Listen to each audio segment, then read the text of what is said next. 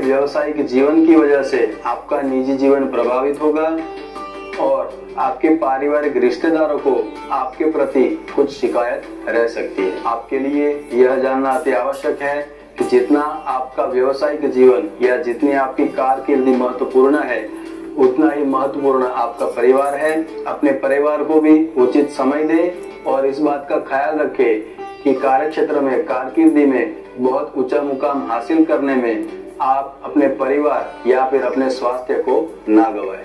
दिन भर आर्थिक मामलों में आपके द्वारा लिए गए फैसले सही साबित होंगे।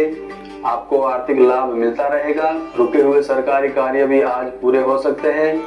आर्थिक रूप से प्रगति होगी।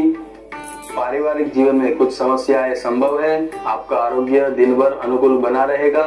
किंतु ज़्यादा व्यस्त रहने की वजह से संभव है कि आप अपने सेहत को नुकसान कर बैठे।